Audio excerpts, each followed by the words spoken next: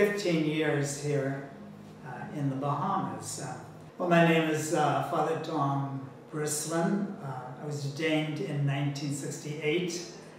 When I first came, and I was the director of the retreat house, in Emmaus Center, I stayed there for four years. And then I went to Sacred Heart Parish, which is uh, the, the second Catholic church built here in Nassau.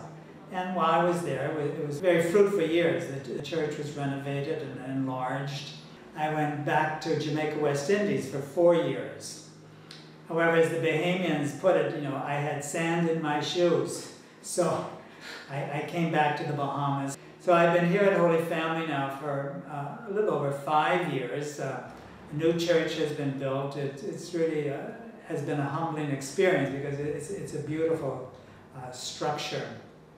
It's a wonderful parish. Many, all local Bahamians. When I was at Sacred Heart, I probably had uh, maybe 30 different nationalities there, many tourists because it was right across the bridge from Paradise Island. And, you know, by the way, Paradise Island is very, very different from the Bahamas in general. You know, many people see uh, those ads on uh, TV of Paradise Island, they think, well, that's the Bahamas. Well, it really isn't. It's just one aspect of the Bahamas.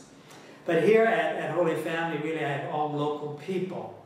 And they're, they're wonderful. They're very gifted, talented people.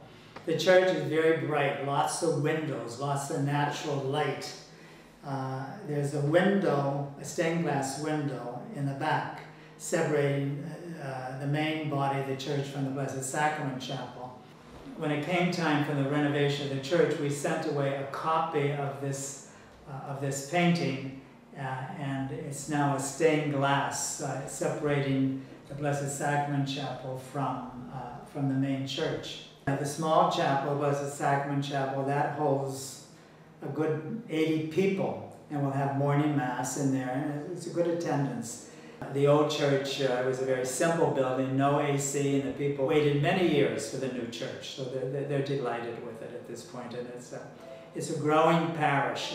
It's The old church we use for one hall now, and plus the other hall contains a kitchen, a, a gathering center, plus the offices. So we have lots of room here. The dedication in September, uh, that, was a, that was a big event for uh, the Bahamian Catholic Church. The Sacred Heart, uh, that is really an historical building.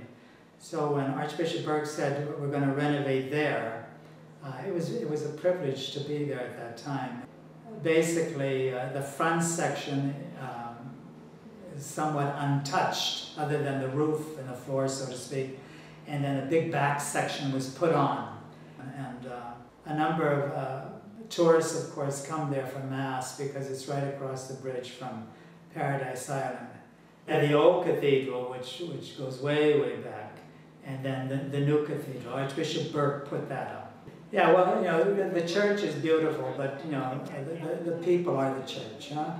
They have their own story, and, uh, and they're proud to be Bahamian. And there's a close relationship between the United States and the Bahamas. Uh, there have been a number of passionists down here over the years that came from missions at Sacred Heart and also here at Holy Family. Uh, Vincent Youngberg, Victor Hoagland, Brother Andre, uh, Edward Walansky, uh, Peter Grace, uh, Paul Fagan had, has been here. So a number of passionists have been here over the years. You know. You're always welcome to come down. I have a nice spare room, if not two.